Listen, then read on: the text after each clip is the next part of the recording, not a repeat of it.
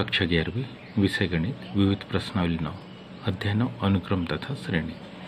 200 तथा 400 के मध्य आने वाली उन सभी संख्याओं का योगफल ज्ञात कीजिए, जो सात से क्या हो, विभाजित हो।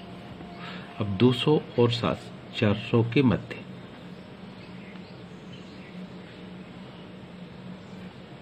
दो सौ और के? चार सौ के मध्य। काय से सात से विभाजित होने वाली संख्या। सात से विभाजित होने वाली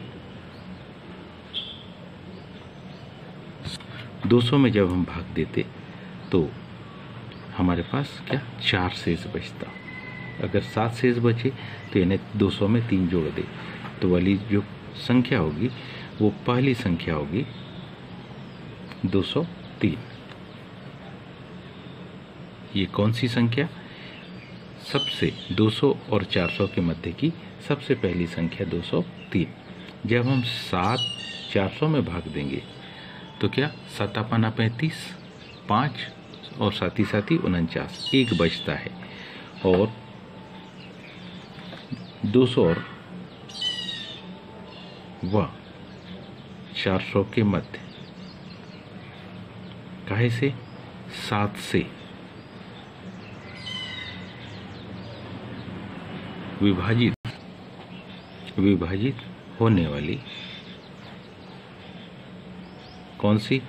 अंतिम संख्या, सबसे आखिरी की संख्या। तो हम पाते एक शेष बचता मतलब एक को घटा देंगे तो वो संख्या हो जाएगी तीन सौ निन्यानवे। अतः क्या? दो सौ।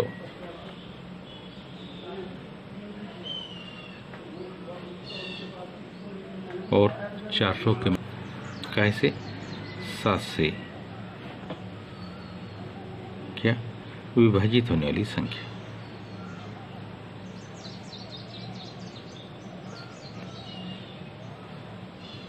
संख्या कुछ इस प्रकार से होगी। कौन सी?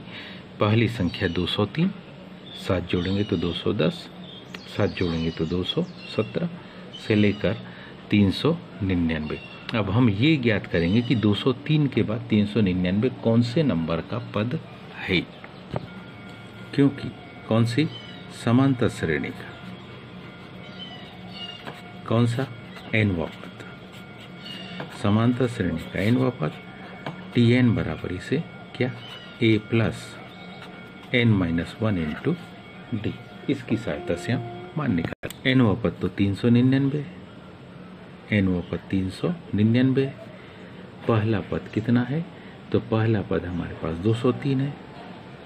धन, एन का मान निकालना हम एन का मान हमको निकालना डी अर्थात सर्वंतर सात आ गया। तीन सौ निन्यानवे में से 203 क्या हो जाएगा? घट जाएगा। एन ऋण एक गुणित सात। तीन सौ निन्यानवे में से जब 203 को घटाएँगे तो बचा एक सौ छियानवे। तो क्या लिख सकते एन ऋण एक गुणित सात बराबरी से एक सौ छियानवे। अब इस एक सौ छियानवे में सात का क्या करेंगे? भाग देंगे। सात दुनी, चौदह, साती, आठी, छप्पन। तो एन ऋण एक बराबरी से कितने बार? अट्ठाईस बार भाग गया। ऋण एक दाहिनी तरफ़ गया तो धन एक, एन बराबरी से उनतीस, क्योंकि हम जानते हैं कौन सी समांतर श्रेणी के कितने एन पदों का योगफल। समांतर श्रेणी के एन पदों के योगफल के फार्मूले को हम बड़ी अच्छे से जानते तो होता हमारे पास क्या? एन बाय टू ब्रेकेट में क्या? ए प्लस एल ए यानी पहला पद एल यानी उस श्रेणी का लास्ट यानी कि अंतिम पद। तो हमारे पास क्या आएगा? उनतीस बटे उनतीस बटे दो। ए यानी उस श्रेणी का पहला पद 203 है। एल यानी उसका अंतिम पद, तीन सौ निन्यानवे है। इन दोनों को जब जोड़ेंगे तो क्या आएगा? उनतीस बटे दो गुणित छः सौ दो। छः सौ दो में दो का भाग, तीन सौ एक बार। तो श्रेणी के बराबरी से कितना? आठ हज़ार सात सौ उनतीस।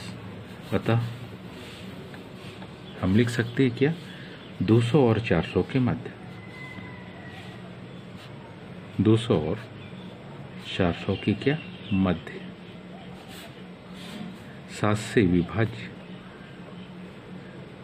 सात से विभाज्य संख्याओं का योगफल।